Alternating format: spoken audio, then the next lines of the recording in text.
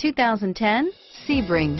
The Sebring's sleek exterior design captures the essence of movement, while the interior craftsmanship offers a cabin with an abundance of style and comfort, including seating for five. The Sebring is available in three different styles, including sedan, soft top convertible, and hardtop convertible. Sebring makes driving fun again and is priced below $15,000. This vehicle has less than 60,000 miles. Here are some of this vehicle's great options.